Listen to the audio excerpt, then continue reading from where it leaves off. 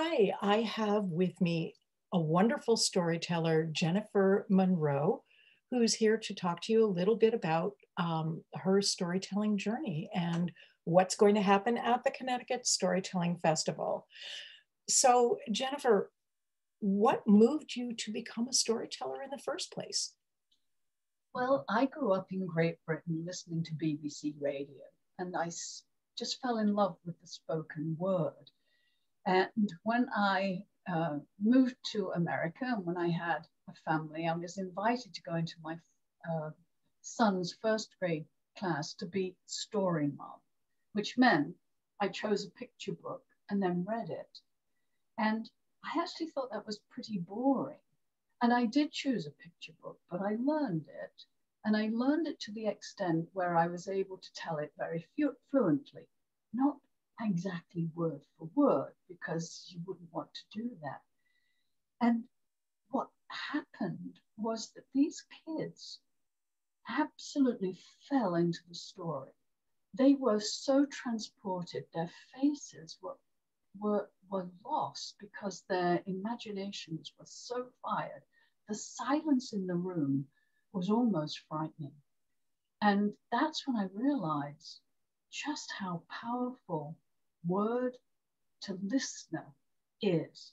You know, when you read, it's a three way process text, reader, sto- uh, listener. But when you tell a story, it's storyteller, listener. It's very dynamic, it's very powerful, and it really goes from heart to heart. Thank you. So, what are your favorite kinds of stories to tell, and why do you enjoy telling them? So glad you asked. I, I love personal stories.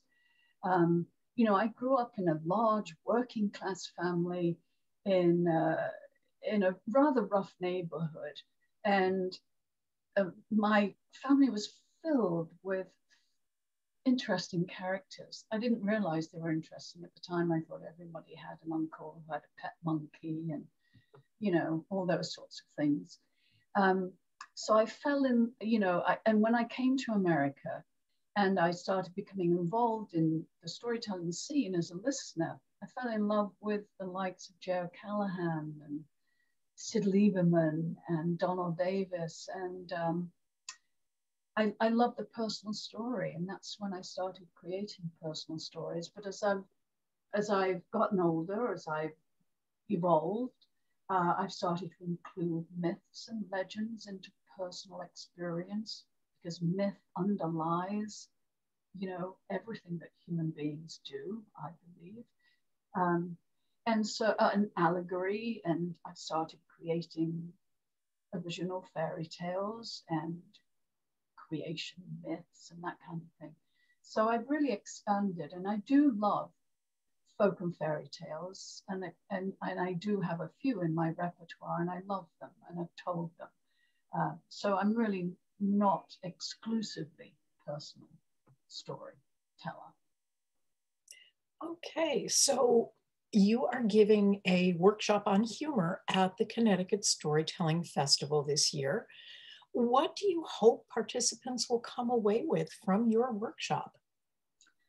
I think the most important thing for me right now is that they come away with the joy of having laughed in the company of other people. Um, something that we haven't been able to do. Um, so that's number one. Um, but I also want them to come away with an understanding of the mechanics of how humor operates. I'm absolutely fascinated by what makes some things funny and other things actually offensive. And what is that? That I love that little surprise in a moment that makes us laugh. It's that surprise element, I think. So I, I hope to share with them a few of the mechanics that I've used and also learned about. Um, and I think most importantly, in terms of story creation, the realization that humor adds to the depth and meaning of the story. But not only that, it creates a powerful connection.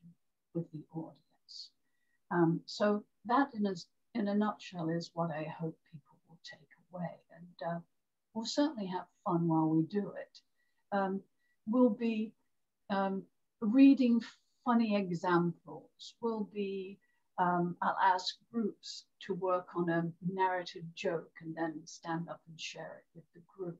And then we'll examine, examine exactly how the humor occurred and how that corresponds to certain uh, theories that have been posed about uh, what makes things funny.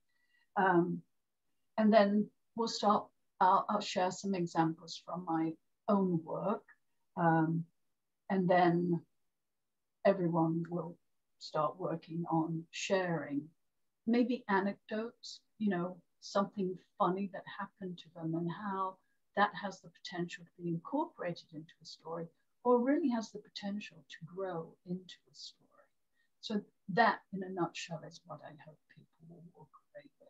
Wonderful. Well, I can't wait for the festival and for your workshop. And uh, thank you so much for your time today. More than welcome, Katie. Thank you.